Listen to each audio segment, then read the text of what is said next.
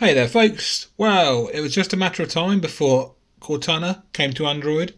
This is the leaked beta of Cortana for Android. Let's give it a try.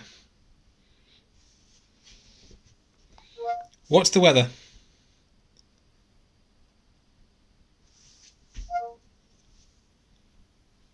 It's currently 15 and partly cloudy. Well, I'm not in Harbour, but okay. What time is it?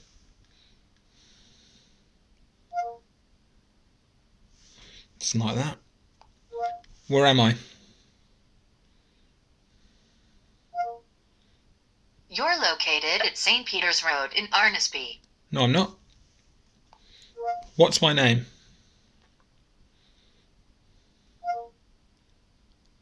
You are Matt. Got that right. Take a note. Hmm. Hey Cortana. Take a note.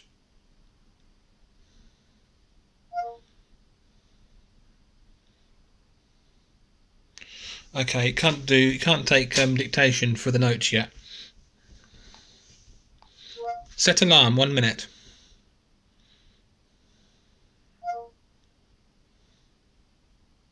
Doesn't seem to be giving voice feedback for tasks I give it to do. But that's okay. The alarm will go off in, in about, well, a minute or less. So, just wait for that to go off. Anyway, no point waiting, is there? Because it's going to just go off, isn't it?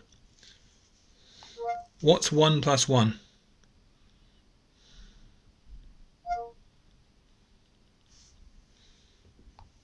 Show me a map of Kettering. Catherine.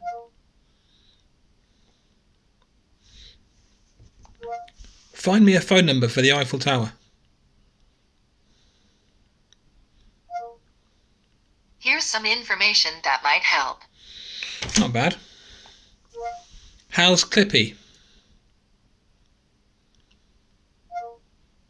Clippy's enjoying his sunset years out of the media glare.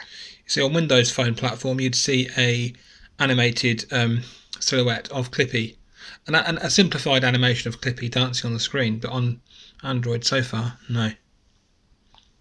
Who's your daddy?